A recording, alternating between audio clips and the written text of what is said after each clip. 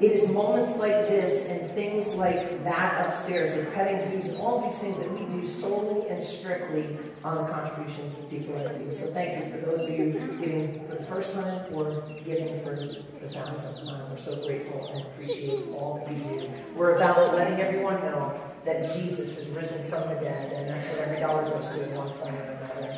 If you me in prayer, Father, thank you for your word. Thank you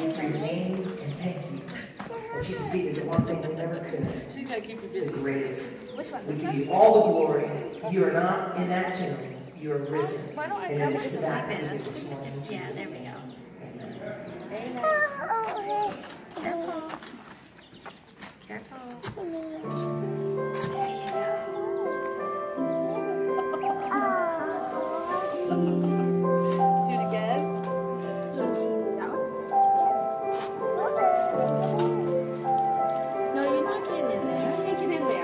Yeah.